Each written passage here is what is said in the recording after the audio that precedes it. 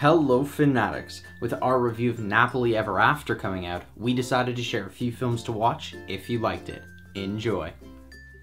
The Perfect Guy is a thriller directed by David M. Rosenthal, starring Sanaa Lathan, Michael Ealy, and Morris Chestnut. It follows the story of a professional woman who gets involved with a new man who seems almost too good to be true. This film has a similar style, themes, and also stars Sanaa Lathan. There are some intense scenes throughout.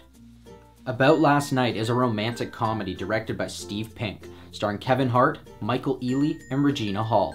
It follows the story of two couples as they journey from the bar to the bedroom and are eventually put to the test in the real world. This film has a similar style, tone, themes, and atmosphere. There are mature themes throughout. Set It Up is a romantic comedy directed by Claire Scanlon, starring Zoey Deutch, Glen Powell, and Lucy Liu.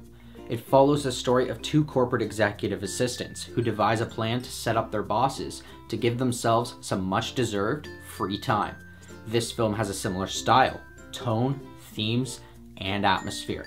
There are no unsuitable scenes. Beauty Shop is a comedy directed by Bille Woodruff, starring Queen Latifah, Alicia Silverstone, and Andie MacDowell.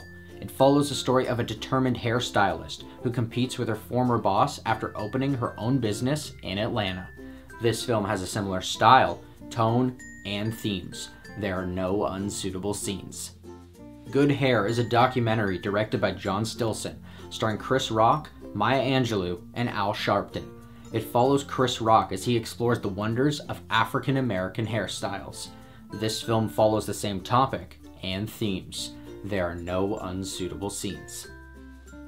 Hopefully you liked some of these films just as much as you did Nappily Ever After. If you have any films you'd like to recommend to us or to the community, or you want to tell us what you thought of these films, let us know in the comments below. Thanks for watching.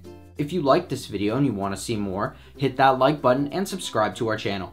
Check out our latest Film Fanatic review where we discuss the film Nappily Ever After. Don't forget to follow us on our social media. And until next time, Fanatics, keep it real.